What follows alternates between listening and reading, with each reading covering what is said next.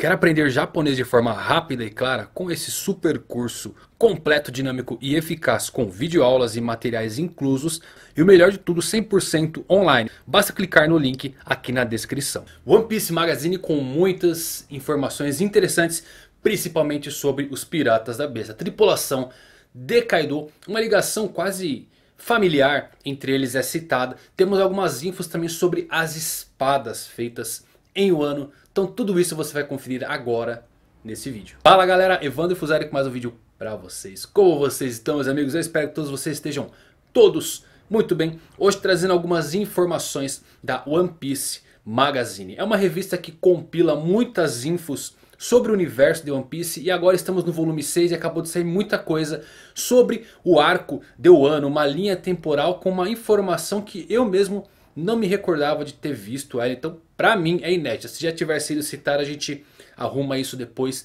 Falando sobre as espadas feitas nesse país. E sobretudo a tripulação de Kaido. Muita info legal. A próxima vai falar exclusivamente do filme One Piece Stamped volume 7. Está previsto, se não me engano, para agosto. E vai trazer novas infos também, inclusive de Gold Roger. Então sempre que saem essas revistas é bom pegar algumas referências e descobrir as entrelinhas. Porque lógico, eles não dão spoilers tão bombásticos. Mas tem algumas coisas interessantes. Inclusive agora nessa revista tivemos um painel de um determinado capítulo onde ele foi ampliado. O Oda acabou retirando, diminuindo esse painel. E é um painel bem importante porque ele mostrava as três calamidades e Kaido como silhuetas. Aquela silhueta famosa onde o castelo de Oden está pegando fogo. Nesse painel que era o original parece que temos uma quarta silhueta. Seria aí a quarta calamidade ou o tal do Ace, o As da tripulação das calamidades de Kaido. Faz todo sentido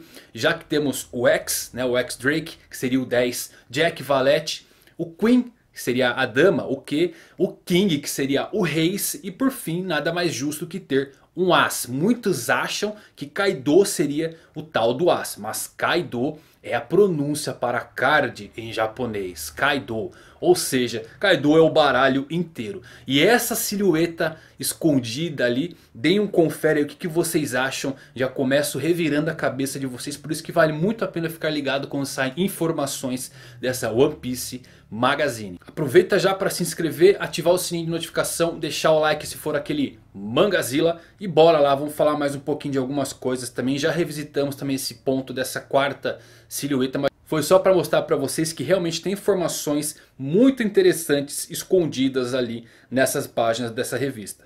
Eu vou falar primeiramente sobre os Piratas das Feras. É uma tradução feita pelo Ethan Bob do Ouro Jackson, que é um fórum muito famoso de One Piece, só que é em inglês. Então o Ethan Bob traduziu do japonês para o inglês e aqui eu vou traduzir para vocês para o BR.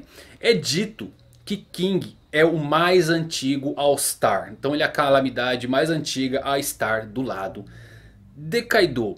King tem aquela roupa que lembra muito a roupa de Magellan, né? De, de, de Impel Down. Faz todo sentido talvez que ele seja aí um ex-diretor. Porque ele gosta de torturar as suas vítimas. Quem sabe ele conheceu Kaido em uma das vezes que Kaido foi capturado. Não sabemos se ele foi parar em Impel Down. Mas é afirmado aqui que ele é o mais velho.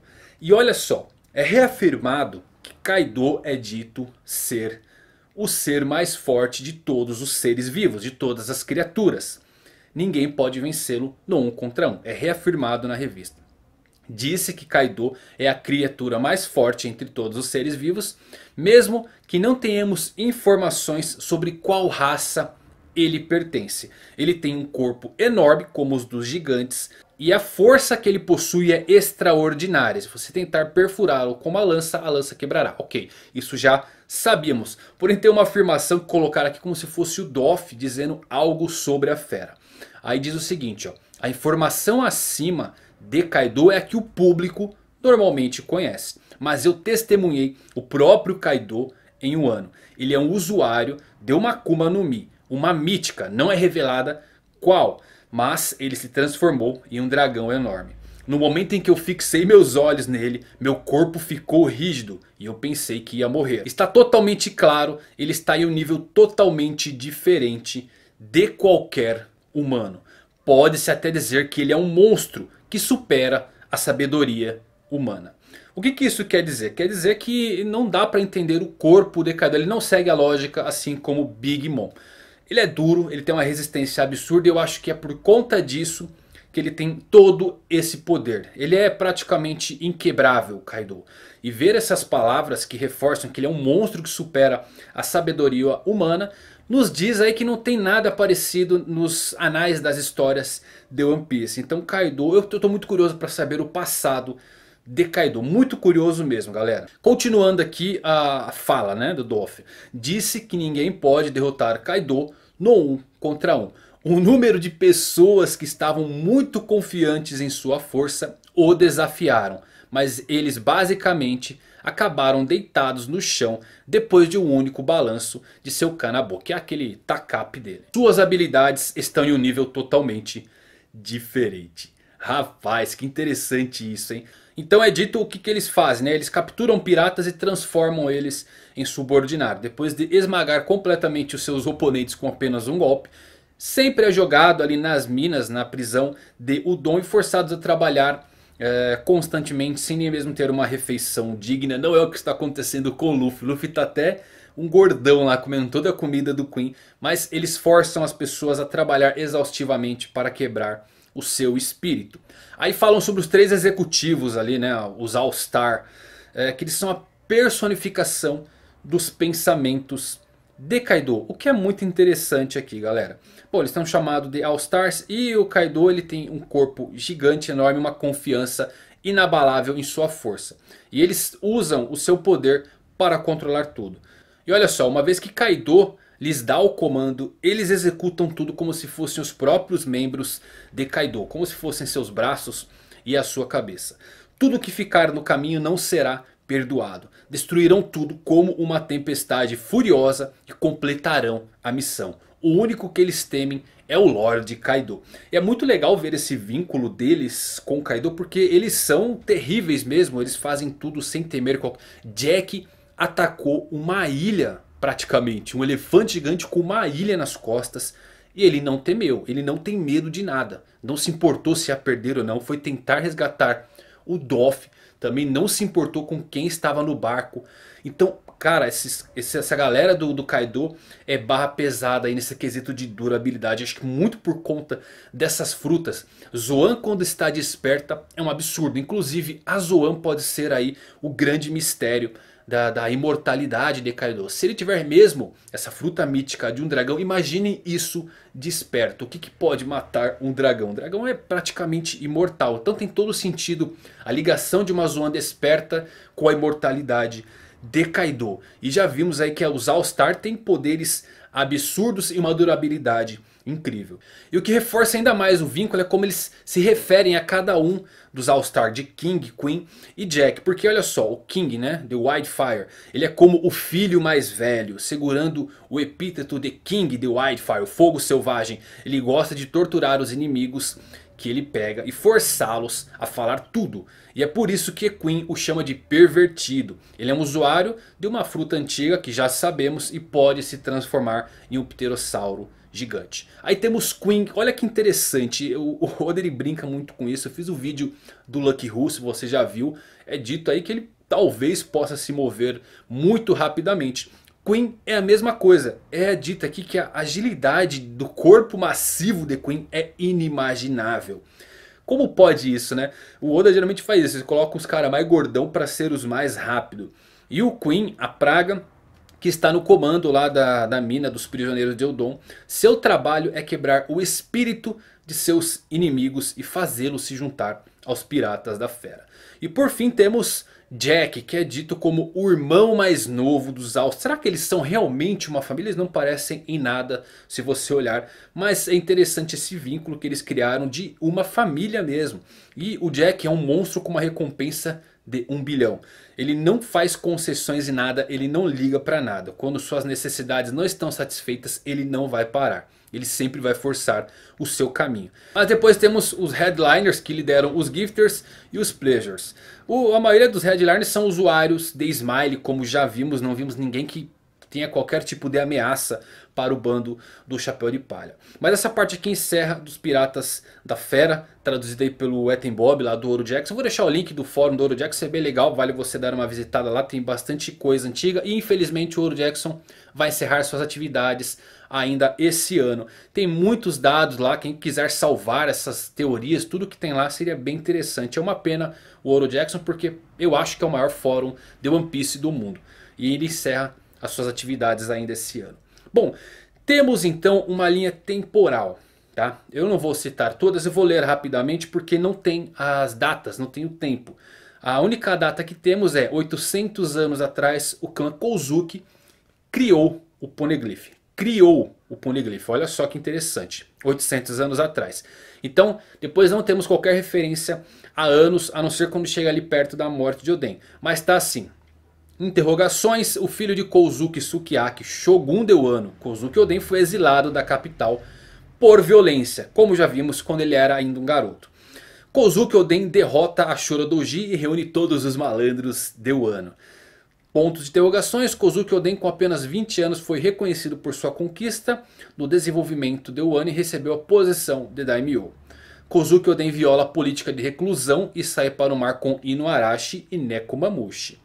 Isso daqui eu não me lembrava galera. Não, não, não me lembro de qualquer referência sobre isso daqui. Mas alguns anos atrás Kozuki Oden entra no navio de Barba Branca, o Mob Dick. Eu não me recordo desse ponto, eu não sei se é um ponto inédito ou não. Refresque a minha memória se alguém se lembra de ter citado que Oden viajou com Barba Branca. Eu sei que Barba Branca tinha um grande apreço pelos samurais, assim como Roger. E que ele viajou com Roger até Raftel, o Oden estou falando. Mas eu não me lembro dele ter navegado com Barba Branca. Porque na sequência o Roger vai procurar o Oden para então completar a sua viagem para Raftel. Então ele navegou com Barba Branca antes de navegar com Roger. Uma coisa interessante. Então cerca de 25 anos da linha temporal ele chega a Raftel com Roger 24 anos atrás. Roger é executado em Loguetal. 23 o túmulo de Ryuma. Que eu achei que teríamos novas informações e não tivemos. Porque o próximo Vivercard vai ter o Vivercard do Ryuma. Mas 23 anos atrás o túmulo e a Shusui foram roubadas de Wano. 20 anos pelas mãos de Kaido e Orochi, Kozuki Oden é executado. E os mesmos 20 anos atrás, Momonosuke, Kinemon e as Nove Banhas desaparecem. Momo e o Kim já sabem que são enviados para o futuro. Aí cerca de 4 anos atrás, relembrando, Ace chegou em um ano. Um detalhe bem interessante é que quando mostra que o Ace chegou em um ano, o barco dele está igual ao do Luffy. Ele chegou da mesma forma que o Luffy pegando aquela cachoeira misteriosa. E por fim, para encerrar, com um ano atrás, o Drake ele se tornou um subordinado de Kaido muito interessante isso, né? Foi quando ele levou o Caribou, porque o Caribou estava atacando algumas das ilhas de Kaido. E eu acho que ele pegou o Caribou ali como uma oferenda para provar a sua lealdade ao exército das bestas. Sem dúvidas, o que mais me chama a atenção aqui é a ênfase na agilidade do Queen, né? Será que vamos ver ele lutando? Eu queria ver ele na sua forma híbrida. Ele é um cara muito grande com uma Zoan absurda, né? O Brachiosaurus. Então ele deve ser um tanque absurdo, deve ser tem uma durabilidade absurda, se movendo numa agilidade incrível. Pode ser que King no fim seja mais rápido, mas eu gostei bastante dessa informação, até porque a sua fruta dá a entender que ele seria um cara muito desajeitado. Mas ele sendo rápido e tendo um corpo gigante assim, é impressionante. Por fim galera, temos uma informação muito legal aqui sobre as espadas. Não é uma enciclopédia espadachim, tá? Mas é um texto das espadas feitas em um ano ou como eles disseram lá na revista, relacionadas ao ano.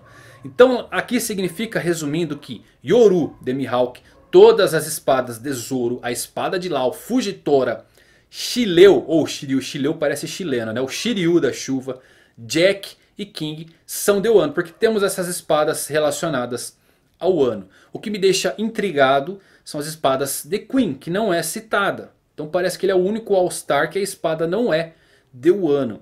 Aliás, eles podiam nomear todas as espadas, acho que não seria um spoiler tão grande, mas não nomearam todas as espadas aqui. Algumas informações que podemos tirar entre linhas. Uh, por exemplo, o Shutemaru ele quebrou uma das lâminas do Jack, o que mostra o quão poderoso é o samurai. O Ashura Doji conseguiu quebrar uma das lâminas de Jack, uma espada feita lá em um ano.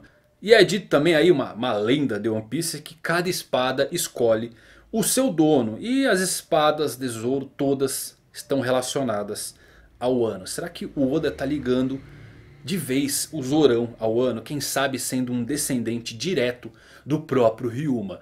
Eu acho que tem todo sentido. Ao mesmo tempo que eu não queria que o Zoro fosse ninguém especial. Ele conquistasse tudo conforme ele já faz. Com muita dedicação, muito treino. Mas ao mesmo tempo quero saber mais de Ryuma. É dito aqui galera que Ryuma...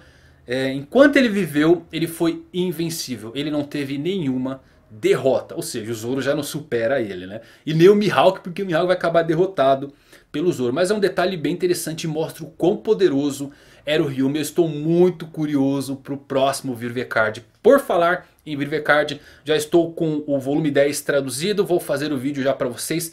Muitas informações legais, inclusive um detalhe ali, uma entrelinha sobre como funciona as Akuma no Mi relacionada a Vegapunk e também sobre o Haki da CP9 que eu achei muito interessante, coisas bem legais nesse próximo Viver Card. Mas galera, resumindo essa One Piece, acho que esses são os dados mais importantes, interessantes que tiveram. Sempre que sair vou trazer para vocês, traduzir o que eu conseguir. Então galera, se você gostou desse vídeo, manda o like, compartilha com os amigos, chame eles aqui para o canal porque é de vocês. Até os próximos vídeos, valeu por assistirem, fui.